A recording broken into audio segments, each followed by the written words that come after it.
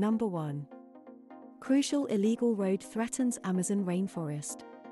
An illegal dirt road ripping through protected areas in the Brazilian Amazon is now just a few miles shy of connecting two of the worst areas of deforestation in the region, according to satellite images and accounts from people familiar with the area. If the road is completed, it will turn a large area of remaining forest into an island, under pressure from human activity on all sides. Environmentalists have been warning about just this kind of development in the rainforest for decades. Roads are significant because most deforestation occurs alongside them, where access is easier and land value higher. On the east side of the new road is a massively deforested area where Brazil's largest cattle herd, 2.4 million head, now grazes. This municipality of São Felix do Xingu is the country's second largest greenhouse gas emitter, thanks to deforestation, according to Climate Observatory, a network of environmental groups. It is roughly the size of Maine and has a population of 136,000. Wedged in between is the Xingu Basin.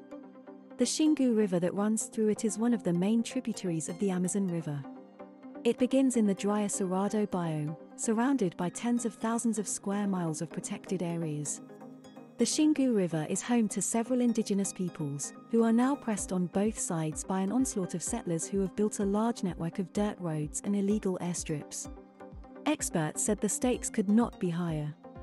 The opportunities for new deforestation in the center of the corridor of protected areas of the Xingu brings the risk of an irreversible breaking of the Amazon rainforest, dividing it into islands of degraded forest, which does not have the strength to resist climate change.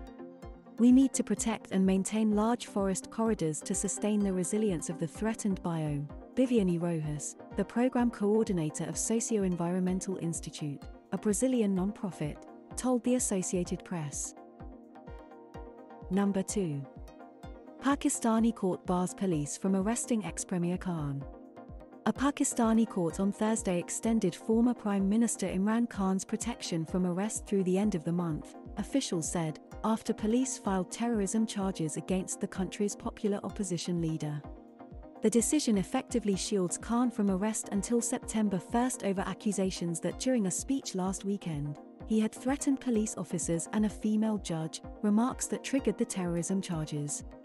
The decision also temporarily alleviates concerns of violent clashes between police and supporters of the former premier. Khan has been leading mass rallies and seeking early elections since he was ousted in April in a no confidence vote in parliament.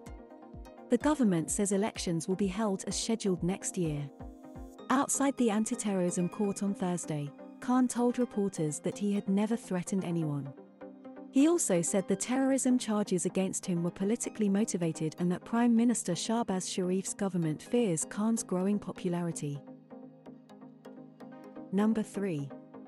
Macron on Algeria visit says painful past came in the way of looking to the future. On his second visit to Algeria, French President Emmanuel Macron on Thursday reiterated a commitment to building a better bilateral future between France and its former colony, saying a painful common past has at times prevented us from looking to the future.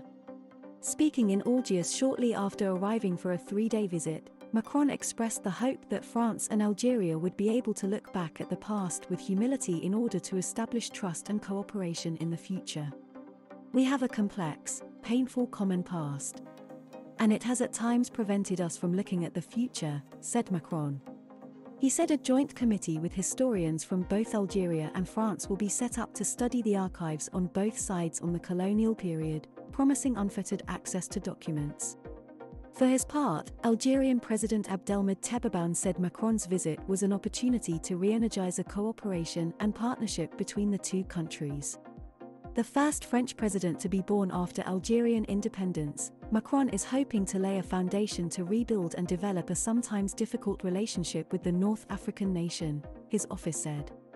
Accompanied by seven ministers, Macron arrived at the Houari Boumediene airport in the capital Algiers, where he was received by his Algerian counterpart. The two heads of state visited a monument on Thursday to martyrs of the country's war for independence, which ended more than 130 years of French colonial rule with Algeria's independence in 1962. Franco Algerian relations have seen repeated crises since then,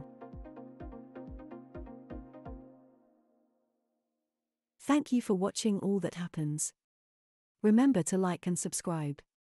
And we hope to see you next time.